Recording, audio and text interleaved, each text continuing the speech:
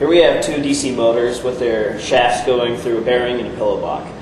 On top of the bearings are accelerometers to measure the vibrations in the bearings. This is a piezoelectric accelerometer with a single coax output that goes to the charge amplifier. As I hit the platform, you can see that the accelerometer picks up, the vibrations. To measure the shaft speed, we have photo optic sensors that pick up the reflective tape as the shaft goes by. Um, this is sent through a Schmitt trigger and displayed on the oscilloscope. Here's the output from the photosensors, and from this we can determine the shaft speed. Here we have about 30 hertz or about 1800 RPM. We can also use a strobe to verify the shaft speed. With this strobe we can uh, manually change the uh, frequency which it strobes.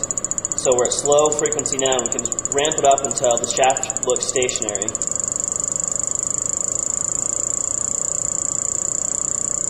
And right here, the colored marks that we had on the shaft look like they're about stationary.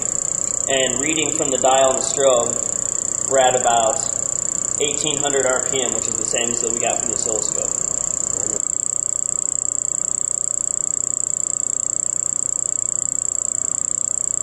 This is the raw signal from the accelerometer or the charge amp. This is the FFT or fast Fourier transform of the raw signal we just saw. Here we can see some raw vibration signals and spectra of two example bearings.